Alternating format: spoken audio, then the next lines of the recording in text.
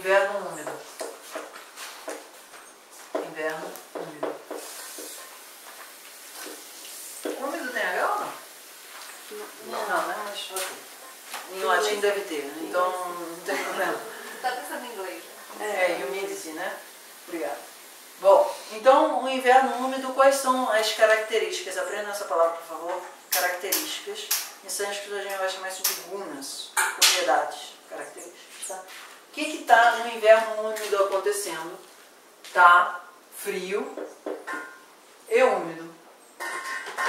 Frio mais úmido. Ok?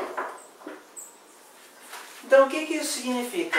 Esse é o momento onde está próximo ao solstício de ah, inverno. Então, temos longas noites. Longas noites. Longas noites ao máximo, ok, galera? E o que, que a gente tem também? Ah, um período onde, teoricamente, a gente vai entender por que teoricamente, Agni é muito forte. Muito forte. Qual é a ideia do Ayurveda? A ideia do Ayurveda é que a principal função do nosso metabolismo é gerar calor. A gente é um animal endotérmico, certo? Então a gente tem que manter o nosso corpo quente. E a forma principal de fazer isso é queimando com a nossa fornalha do Agni. Então quando o clima externo está extremamente frio e a gente já está suportando o frio há muito tempo, o nosso aquecedor interno tem que estar muito forte para a gente não ser congelado em termos.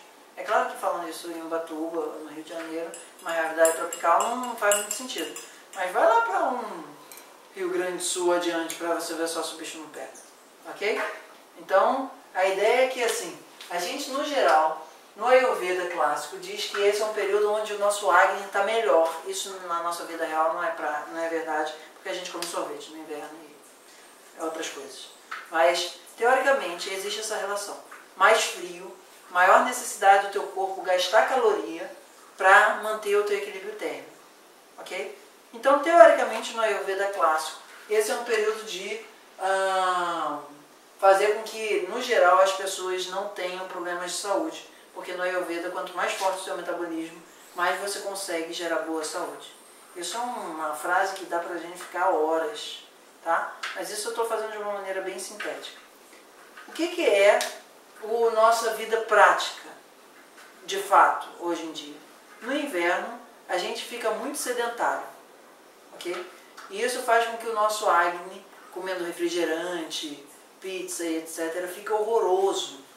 No inverno, as pessoas ficam muito doentes, porque elas não estão fazendo atividade física, e elas sabem que precisam fazer atividades físicas, elas estão cada vez mais em ambientes fechados, e elas estão respirando cada vez um ar mais contaminado, em um certo sentido, e elas estão cada vez menos expostas à luz do sol como estímulo do Agni. Então, enquanto antigamente isso era uma época de ótima saúde, hoje em dia, no inverno, o pessoal está passando muito mal. Ok? Então, o que, que a gente precisa fazer no inverno úmido para ter boa saúde? Algum grau, consider... veja bem, isso que eu estou falando não é o que você vai encontrar no livro, no livro clássico. A gente está fazendo considerações contemporâneas à nossa realidade, ok? Então, o que, que é muito importante para você ah, no inverno fazer? Uma, hoje em dia, não ser sedentário. Então, um dos aspectos importantes para você manter a sua saúde no inverno é manter a atividade física constante. Tá? Que no inverno a galera para de nadar porque está com frio, para de ir na academia porque está chovendo, etc. O inverno úmido, então, é uma tragédia, que é um momento Garfield generalizado, que, em um certo sentido, aqui em Ubatuba tem bastante. Eu, por exemplo, estou dormindo muito mais aqui, estou com muito mais dificuldade de acordar cedo, como eu costumava acordar no Rio. Mas isso está num processo de adaptação, logo, logo não cuidou da jeito. Mas o ponto é, nesse momento, é um desafio muito grande da gente acordar cedo. Então, o Ayurveda clássico ele diz que é um momento onde a gente tem uma, uma possibilidade de dormir até mais tarde. Ok? Então, dormir mais. Isso significa sete da manhã, ok, cara? dormir mais significa que você não precisa necessariamente acordar antes do nascer do sol, até porque nessa época não tem nascer do sol. Porque está úmido pra caramba e está frio, então não tem, digamos, aqui quem despertar a primavera, ok? Nesse momento, ah, o, há muita ah, alimento frio e há muito elemento úmido na natureza. Isso em termos de raças, de essências. Eu vou botar isso daqui em outra cor. Ele é uraça madura, que a gente vai traduzir como doce. Então, em um certo grau, a gente está saturado de doce no inverno, que é a época onde a gente come mais fundi, come um monte de coisa que é rica em carboidratos. Quais são os raças que a gente deve comer no ah, inverno para ficar mais saudável? Picante, porque o picante é bem quente e seco. Então tá saturado de doce, então não é para comer Não é para comer doce. Teu corpo já está, é assim, isso é uma coisa que você pode perceber. Ah, aquele mesmo doce, compra um doce industrializado, que você come no inverno, úmido, ele é muito mais doce do que quando você come no verão. Porque você já está com a tua papila gustativa meio que cheia daquela propriedade. Tá? Picante ah, é o principal praça dessa estação. É época de comer muito picante, comida indiana mesmo, cheio de cominho, assim, até a alma. Tá?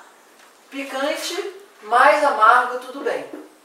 Tá? Porque o amargo, quando ele está junto do picante, ele não fica um pouco picante também. Ele pega essas características. E o adstringente também.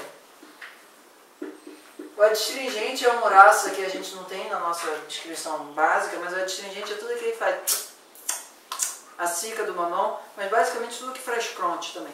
Alface é adstringente.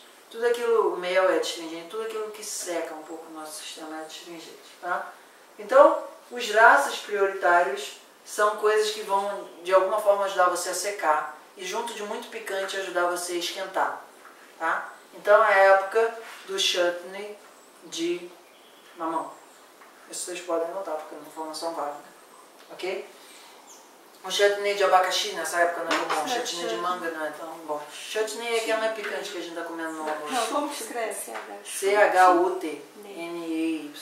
Ó, já estou falando até aí. Ai, meu Deus. Bom, é, aí, assim, no inverno a gente tem que falar, é, tem que fazer bastante atividade física para fazer com que a gente não fique acumulando umidade demais, ok? Tem que ter uma alimentação mais picante, amargo e adstringente. E tem que fazer, ah, em um certo sentido nessa época, usar coisas ásperas. Porque áspero Prata cafa. Mais áspero. Usar. Isso. Mais duro. E mais penetrante. E vocês vão ver que no Ayurveda clássico ele fala assim, é a época que você pode ter relação sexual todo dia. Teoricamente no verão não fala o seguinte, não tenha relação sexual, mas a gente vai chegar lá, fica tranquilo, vai entender o que, de onde isso vem. Mas no inverno uma das atividades físicas que é recomendada é ter uma maior intensidade de atividade física, porque a atividade física diminui kapha. Tanto porque tem atividade em si, tanto porque gera calor, quanto também tem perda de tecido através do ato sexual.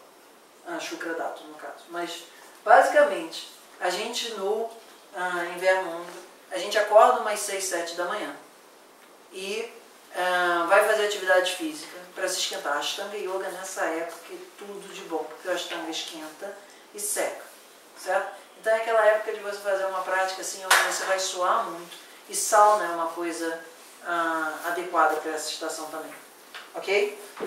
Então vamos falar um pouco ah, sobre a alimentação, porque na alimentação a gente também vai falando da rotina, tá? Eu não vou anotar tudo isso no quadro, porque eu acho que não tem necessidade. E aí a gente vai ah, fazendo, digamos assim, a orientação da estação. Acordou, sete da manhã. Aí tem aquela história de evacuar todo dia, porque isso faz parte da Ayurveda, etc. E água morna com mel nessa época, porque o mel é mais astringente. Ok? Mesmo não podendo comer doce, mel Mel, ele pra gente, nesse caso, ele não é doce, porque não tem as propriedades de adstringente, quente, Secante. secante. Ah, é né, anticafa. A gente vai fazer uma rotina anticafa. Uma canela, né? É, é, melhor é até cravo do que canela, mas sim. Então a gente de manhã tá nesse esquema, acordou água com mel, em vez de ser água normal com limão. Não estou dizendo para você necessariamente fazer isso, estou falando assim, via de regra, como é que, é que funciona. Assim. É, isso daqui a gente não está considerando a pessoa, e o Ayurveda sempre considera a pessoa, mas o Ayurveda considera a estação também.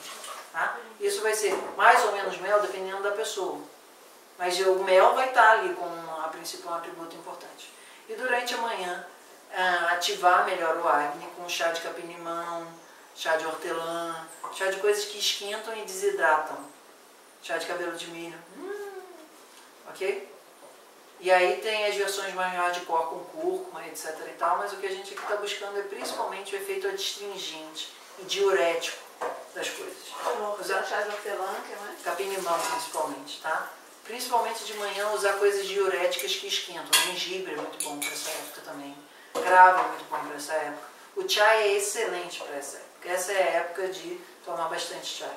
Chai que você está falando é aquele sem o leite. Tá? Sem o leite. Sem o leite. O chai que a gente tá, faz a massala e põe ela para ferver. Ok? Mas a massala que você está falando é Um a conjunto de temperos. É, e- isso é aquela conjunto de temperos, ok?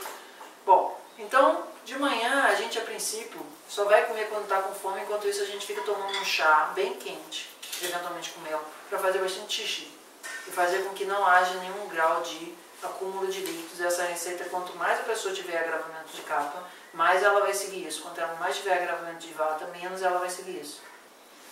Então, a gente vai desidratar a pessoa de manhã. Aí de manhã, quando ela tiver fome, se isso for 7, 8, 9, 10 da manhã, já pode ter feito atividade física, uma ashtanga yoga duas horas na cabeça. Aí ela vai comer alguma coisa que resseque. Tapioca, mandioca, tahine, batata doce. Coisas que, de novo, esquentam e secam. Ok? Então, a milho cozido, cuscuz de milho, Tapioca skin. depende, assim, ela é neutra, tá? Mas se você comer ela com tahine, com mel, ela já vai para aí, Chá. tá? Áspero, duro, penetrante vai se aplicar para os alimentos. Isso, são os gunas que a gente vai estar procurando, ok? Tapioca não é penetrante, eu sei, mas Tipo assim, inhame. inhame é frio, tá? Não é para o inverno. Não é para essa época aí, é principalmente aipim e milho. Isso é muito mais detalhado, mas assim, é só para vocês terem uma ideia como é que o Ayurveda vê isso. Linhaça, de Linhaça, ela é quente, mas ela tem que ser comida como farelo e não como hidratada. Ok? Porque ela é hidratada, ela fica úmida e a gente não quer o atributo do úmido aí. Então vai ser tudo em farelo nessa época, tudo em seco, tá? Vai ser flocos de milho, é muito bom, ok? Então no café da manhã vai passar por aí. A gente não está fazendo uma rotina muito fechada, a gente está dando uma pincelada, porque a gente vai falar muita coisa, tá? Senão vocês vão sair com cinco folhas de cada uma das estações e não é esse o propósito. Aqui a gente está hoje num clima tipicamente inverno úmido, né? Inverno úmido não, mas primavera. Primavera úmida. Inverno é bem mais frio do que isso. Tá? Rio aqui tá assim. É. Rio tá bem frio. É, é, pra, aqui, pra aqui não tá. Inverno foi o quê? Maio, junho, ali. Uau! É, ali o frio tava divertido aqui. Aqui nessa época isso daqui já tá quente para Ubatuba em termos. Ok? Mas você tem que considerar o teu padrão térmico. É. Para você É. isso daqui é um inverno. Legal a Cris falar um pouco, né? Porque acabou de chegar. Não, frio hoje. É, assim, pro que isso daqui pode ficar frio, pode ficar bem mais frio. É, pode ficar. Então, assim, uma coisa que é importante é entender que o inverno úmido são muitos dias de frio e úmido. A primavera é quando você tem dias frios e úmidos e dias de calor. Ontem estava quente Ele aqui, tava aqui. ok? Então é isso que caracteriza a primavera. No inverno úmido, de vez em quando faz um dia que esquenta um pouquinho, você dá graças a Deus que saiu o sol.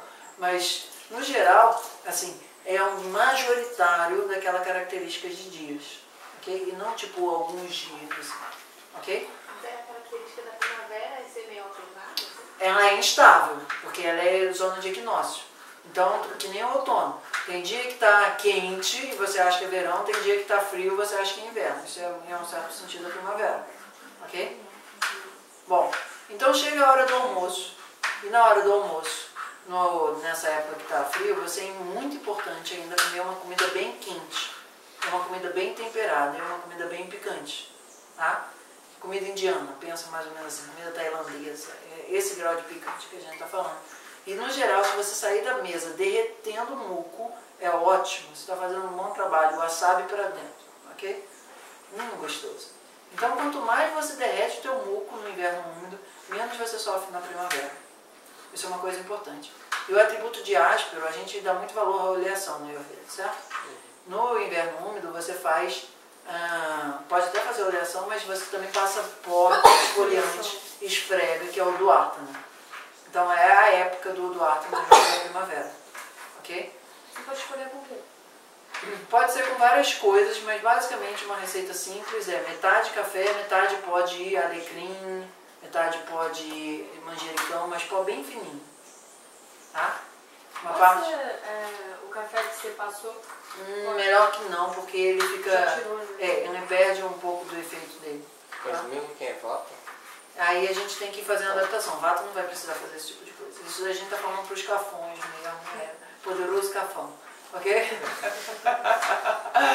e aí, ah, só um instantinho, por favor. Ah, nessa época, a questão, é, a massagem, se for fazer, é mais no sentido para dentro. De facilitar a drenagem, porque a gente está acumulando muito líquido. Ok? Então, qual é o óleo que vai usar? Ou um óleo de gergelim, ou um óleo de semente de uva, de girassol. Ok? Então a gente nessa época não necessariamente precisa fazer oleação todo dia também, porque o corpo está muito úmido. Às vezes a gente precisa só dar uma esfregada. Ok? É uma época de usar muito trífala e gengibre. Porque a trífala seca bastante, garante o intestino do cafo funcionar. O gengibre também resseca e esquenta. É muito bom. E aquela receita de erva doce, ah, é, erva doce, uva passa e semente de linhaça, nessa época fica com mais semente de linhaça. Tem um vídeo meu de intestino preso. E aí faz isso para fazer com que o intestino funcione de manhã, que os cafés estão sem fazer atividade física, o intestino começa a ficar mais preso. Ok? Sim. É, é que você falou do wasabi, Uhum. aí um negócio meio paralelo, assim, se tem diferença entre o wasabi e raiz forte ou se quando você come o wasabi não fica. E não, isso não limpa os seus Até onde eu sei, o wasabi e já forte tá são a bem. mesma coisa. Até onde eu sei. Pode Então se você não sente é porque você já tá. É, que no Ayurveda você já não tá precisando daquilo. É, se o- a ideia é a seguinte, se você comeu e você sente que essa parte daqui ficou um pouco menos pesada porque começou a escorrer, foi bom. Se você comeu e te deu dor de cabeça e não escorreu nada, é porque não tem muco ali. A ideia é derreter o muco que está ali dentro, não te dar dor de cabeça. Ok? Então, ah, no inverno úmido, a gente deve comer coisas que são muito secas, tipo ah, coisas de milho, cuscuz. E aí tem toda a alimentação anticafo, que é aquele negócio, cevada, cevadinha, centeio, painhos. É a época de comer feijões maiores, que são feijões que secam mais, ok? E é a época de comer ah, coisas com bastante picante. E as coisas verdes com bastante picante. Tá? Então é muito chutney nessa época. Comida tailandesa dá pra ter uma ideia do que, que a gente está falando, indiana. Ok até aqui? E no período da tarde, o frio é um atributo importante. Mas o vata não está tão problemático nessa época porque já começou a ficar frio, mais fundo e ele está só se ressentindo do frio. Então é uma época muito boa de fazer sauna. Se você tiver aquela sauninha ayurvédica que a sua cabeça fica em fora, em casa é muito bom. Mas você pode simplesmente pegar e tomar um banho bem quente. Porque isso tira esse frio acumulado do sistema. E ficar bem protegido. Tá? Ah, fazer escalda-pé também com alguma coisa assim mais intensa, mais penetrante. Pode ser um cravo de escalda-pé. É, então é meio suave, penetrante, mas pode ser alguma coisa assim mais radical, gengibre, cravo. Usar esses óleos essenciais são muito bons porque nessa época o olfato fica muito forte. E o olfato é uma forma muito importante de tratamento para capa. Ok? Então de tarde, que é a hora do horário do vato feliz, é um horário onde a gente vai comer coisas menos pesadas e untuosas do que o comparativo do ano inteiro. A gente vai comer coisas que sejam em ainda algum grau para sentar o vata, mas não tipo uma quantidade muito grande de castanha, já não é época.